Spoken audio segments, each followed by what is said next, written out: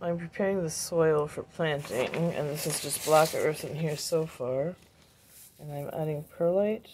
It adds more drainage to the soil. So I'm mixing some in.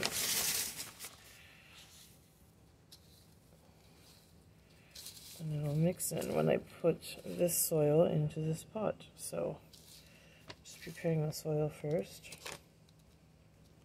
Getting all the lumps broken up. And then I actually add a little bit of water. And then I'll mix that in too. Usually I prepare the soil the day before so the water has a chance to really work its way into all the dirt. And that's pretty much prepared and ready to be transferred.